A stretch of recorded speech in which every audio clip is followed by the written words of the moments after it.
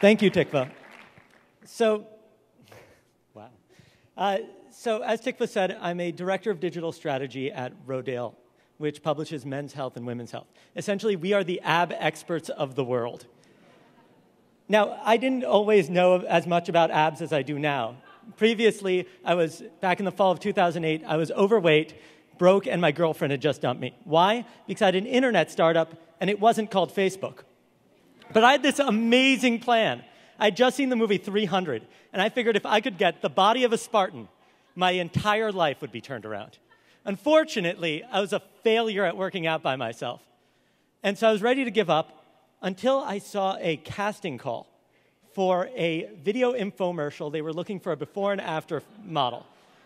And I said, you know what? Maybe it's worth checking out. The deal was that in exchange for being a, doing a testimony for them, they would train me for three months, six days a week, and they would provide me with all my food. One caveat was I had to give up alcohol, right? So I decided to go to the casting, and at the casting, they line everybody up. We take our shirts off and we stick our bellies out, and they take Polaroids of us. and then we have to go to an interviewer where we have to prove that we have the right stuff to uh, make it through an intense 90 day training program. Later that night, I got a call from the program leader. He said, Congratulations, you've been selected as one of 60 people to participate in a 90 day total body makeover with Brett Hoebel, the guy from The Biggest Loser. And I was like, Wow, that's incredible. So the next day, I got on the train, went to my before photo shoot, and I had one of the most uh, brilliant and shallow insights of my life.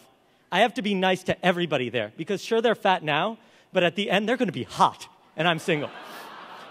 so when I got to the shoot, I look around and I realize there's a token old person, young person, token black person, Hispanic, which meant that I was the token white guy. And so I go up for my photos. They weigh me in. I'm 163 pounds and 20% body fat. And I get up to the photographer and I'm smiling, and he says, Stop smiling. Stick out your belly and relax all of your muscles.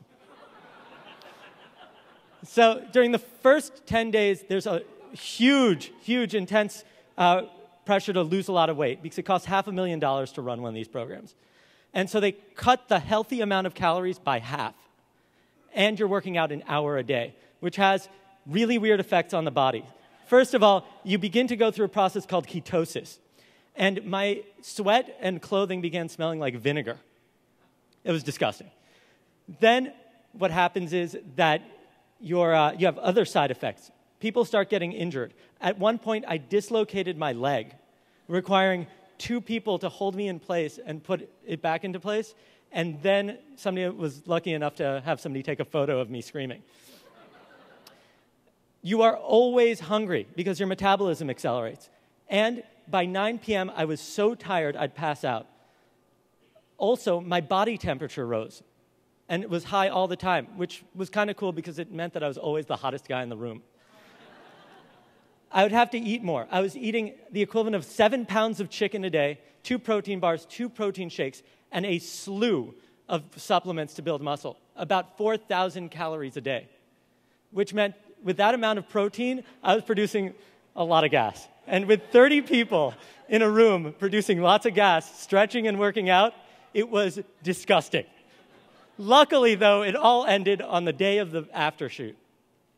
And on this day, you come in, you work out to look huge, they cover you with oil, and then they uh, adjust the lights onto you so that your uh, abs look great. And they teach you this trick. They tell you to give the finger and laugh. You take your thumb, put it on your side, pull your skin back, take your forefinger, pull your skin down to show your abs, and then you laugh. and it flexes. Try it. So, you curious how it turned out? Yes? Well, let's check it out. You could do crunches all day, and your abs could still look like this. Don't you want them to look like this? I'm Brett Hoebel, and I want to welcome you to Rev Abs. So, last weigh in 153 pounds, 7% body fat. I got the body, got the love of my life, and got a great job at Rodale And I'm Jonathan Levy, and this is the secret life of a before and after fitness model.